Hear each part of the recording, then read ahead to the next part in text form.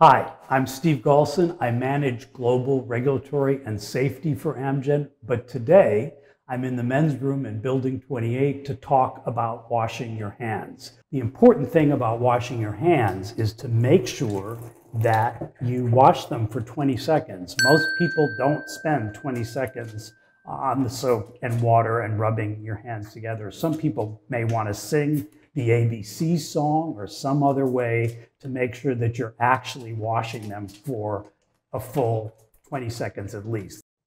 And that's it. Thank you.